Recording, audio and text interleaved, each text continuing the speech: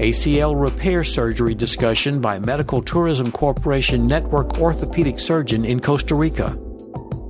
All knees has four major ligaments the medial and the lateral ligaments and the cruciate ligaments, the anterior and the posterior cruciate ligaments.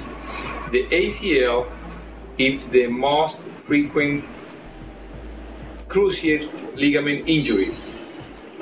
And in, uh, in old days, that meant like stopping the, the sports activity of that patient. I mean, it was unrepairable and the, the surgical results were not, were not satisfactory. Fortunately, in these days, we have a lot of techniques and things have really, really evolved in, in better outcomes. Uh, for example, we are now using a quadruple tendon technique uh, using an autograft. That means that we take the graft from the patient.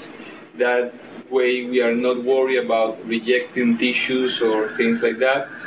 And we put that graft in the place of the ACL.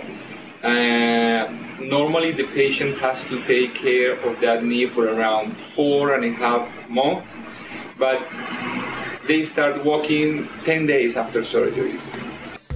Medical Tourism Corporation facilitates affordable medical treatment at world class international hospitals and clinics. Fill out the estimate request form on our site, medicaltourismco.com, for a free quote and more information.